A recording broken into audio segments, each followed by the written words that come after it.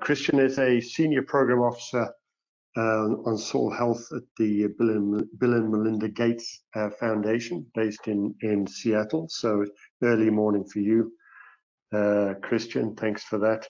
Uh, you have, as I know, at least 20 years, probably nearer 30 uh, years of experience in field research, starting with soil science, uh, plant nutrition, but moving into much more proactive change uh, change processes. So I gave you a title. I don't know if it was accurate or enough uh, uh, or not, but I'll, I'll, hand over to you now anyway to take it away. So thanks very much.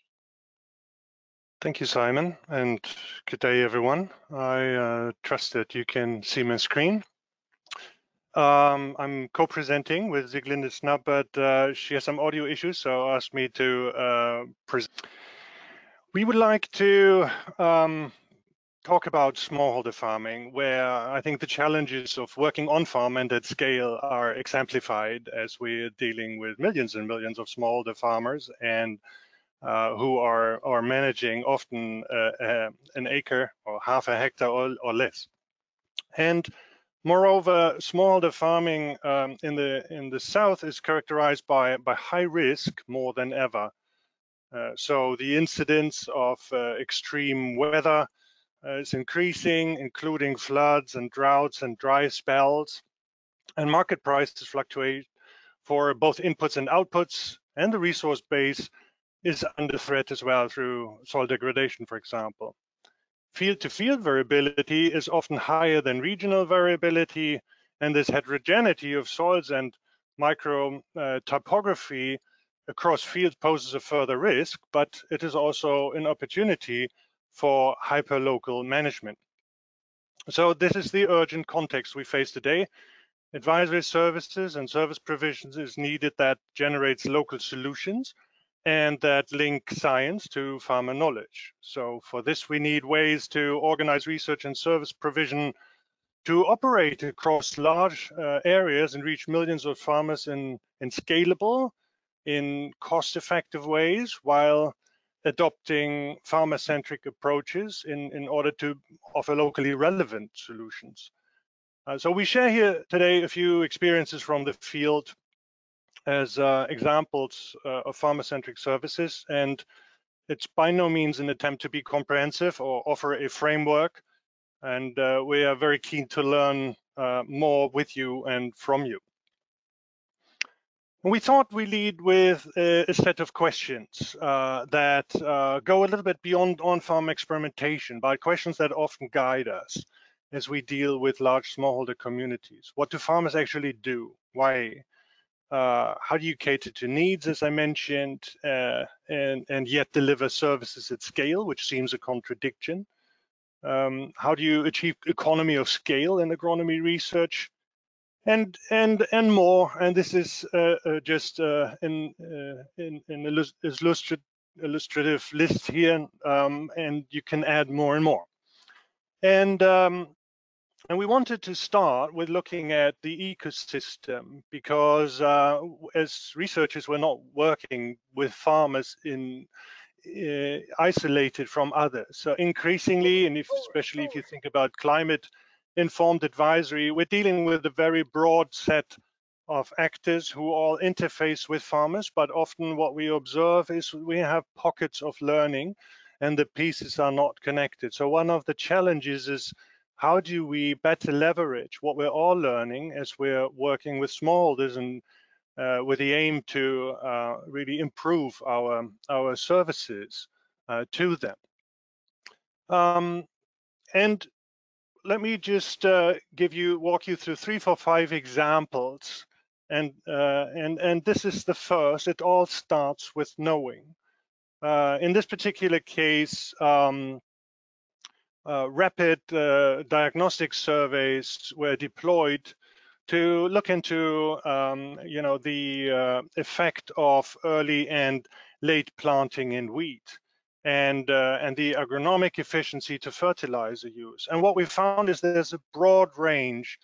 And when you, uh, we learned uh, about farmers' practices, we realized there are several factors influencing the poor performance of fertilizer in certain regions and and um, and the better performance in others. So it is a combination of day of seeding, of irrigation frequency, and weed management. And these early insights allow you to form hypotheses and walk informed into farmers' field as you now start to address these tackles because there's not one problem, there are many problems. Um, so working at scale will uh, most likely require um, you know, making uh, use of digital technologies and in combination with on-farm experimentation. So here we just see, you know, various entry points in the upper left area around field trials. Um, so now engaging with farmers, but on the right end as well, you have service providers engaging uh, directly with farmers. Um, a few, mm, sorry, let me just get to the next slide here. Um, we often see that um, uh, this speaks to the issue of uh, dealing with the variability in crop response. We see various sources of uh, variability here in terms of scale. And uh, as we uh, realize that there's a need for greater localization, um, and we can't deploy uh, really uh, expensive diagnostic tools, you know, working with farmers in a dialogue to help her make, uh, you know, uh, uh, think through the issues and the opportunities is often helping to combine uh, data science that runs at the higher scale level with local knowledge. So for example, here using pictorials uh, to um, uh, ask farmers what is the yield that you're getting in your field, and that in itself is a is a um, indicator of soil fertility. So there are ways of engaging and uh, taking input into narrowing down sensible options uh, that that could be used. Here's another example, and uh, Sieglinde can speak a lot more intelligently uh,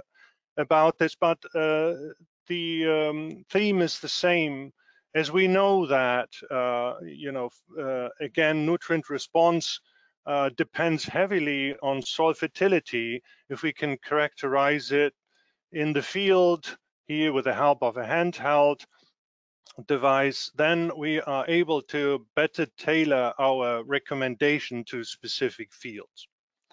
Let me pivot away from variability and uh, give you two examples around learning from farmer decision making. This goes again a little, a little bit beyond um, on-farm experimentation, um, but uh, uh, the example of um, the sub-1 gene in rice, which um, enables the rice plant to tolerate longer periods of flooding, um, as this variety was introduced in heavy flood uh, risk areas, uh, the uh, researchers working with farmers uh, rea realized that um, there was a yield benefit not only when there was flooding, but also in seasons where flooding was absent, simply because farmers used the variety as an insurance against flooding and were willing to invest more time, for example, in uh, crop management or inputs,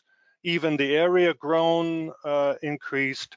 Uh, it is important, therefore, to um, really uh, get closer and a better understanding around farmer decision making um, at uh, at various ends. And I'll keep this one short, but the principle again here is um, uh, if um, uh, you have narrowed down certain options uh, working with farmers um, in in this choice experiment uh, the blue bar you re you see that um, the the practices actually uh, that were worked out here uh, saw greater adoption with um, a funding contribution. So farmers were willing to actually test out certain practices when they were given a financial incentive and less so when they were just given advice. And you see that the yield, the, the light blue bar in the center was actually the same across these four treatments. But what you found, what, what we found, what the researchers found here after um, two years post-intervention is if farmers were given a flexible grant, that means they decide really what to test, how to test it, that gave them a different, uh, more skin in the game and it was well, more ownership that actually leads to greater um, so let me just um, end here with this um, uh, last example also that we have greater tools today to get insights into decision making. An example from 60 decibels who call up a subset of representative farmers and um, and uh, you know ask a in a short survey gather very specific inputs on certain questions. In this case, you know, around the cadence over uh, growing cassava between men and women. So our toolbox as agronomists uh, has multiplied, uh, not just because we have um, our thinking has evolved and our the, the approach to on-farm experimentation has changed dramatically from the 1990s where uh, you know we just moved from station to field which which helped but uh, how to work more closely with farmers has changed ultimately and uh, also the way we um, connect with an ecosystem of partners who bring in additional approaches, perspectives, and and tools that uh, that we use. So I'd like you like to leave you with um, a few learnings here. Yes, and um, the um, I would say the I spoke to to most of them, um, but to me the ecosystem of partners is um, uh, a an, an, evolution that um, I think offers uh, fantastic opportunities uh, for agronomists actually to change the way the way they work. Uh, so I'd like to leave you with a slide and invite um, Simon to to take over uh, in the interest of time. Thank you thank very you. much, Christian. Uh, and thank you, Sieglinde, for your input. I realize you're having trouble with the with the sound. Some very important, worth keeping that slide up just for one second because I think there are some really uh, helpful lessons to learn from that. And the big one, I've, I've, got a quick question to you, actually, Christian, if I may. Uh, do, do, how far off do you think we are about learning how to operate in this uh, ecosystem?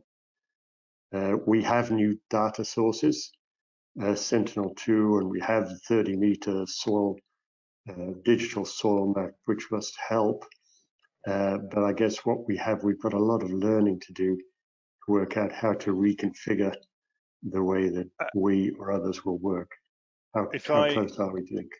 If I uh, had to answer this from a perspective of research, I would say uh, the real opportunity is working with organizations who already work at scale with farmers. I'm thinking of Jivika, uh, for example, in India, or, uh, One Acre Fund working with a million mm-hmm. farmers, um, adopting a very farmer-centric approach. Now they work with certain segments of the farming community, not with everyone.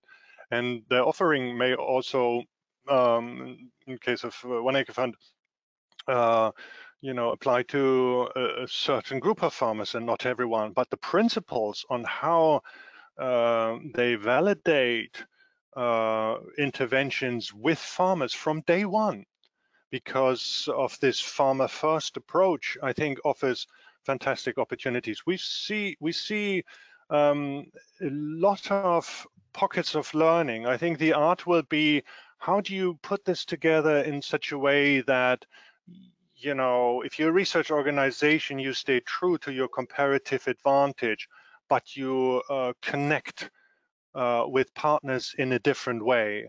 Uh, and that's something where I think uh, more innovation is needed um, to to be sure that we are demand-driven and customer and client-oriented in our research, and that is only possible if we work with and through others. And this will require, I think, changes in in the way we conceptualize and prioritize research. Excellent. Yes, good point. Great, that's fantastic. Well, well, thanks to you. Thanks to you both.